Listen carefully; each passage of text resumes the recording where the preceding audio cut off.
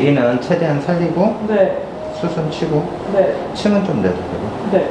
앞머리 길이 어느 정도까지 그냥 옆으로 살짝 가줄 정도로 아, 어, 앞머리를 어, 네, 그냥 좀 그- 일단 그 정도만 잘라주시면 봐도 될까요? 왜냐면은 오케이. 그거 하고 나서 저